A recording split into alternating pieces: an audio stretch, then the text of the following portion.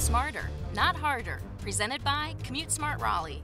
Today we will learn about scooter safety. Micromobility mania has hit Raleigh. Micromobility refers to lightweight transportation options, such as bikes and, in this case, scooters.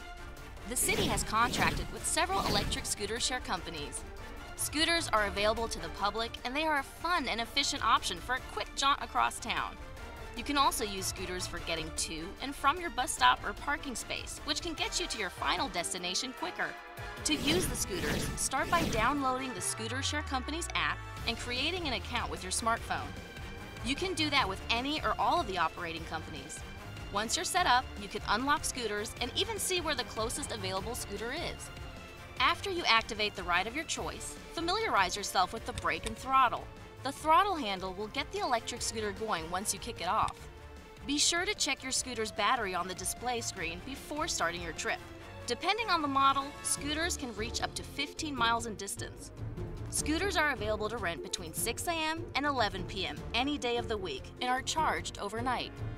Do not ride the scooter on the sidewalks for everybody's safety. Scooters can reach a speed of up to 15 miles per hour.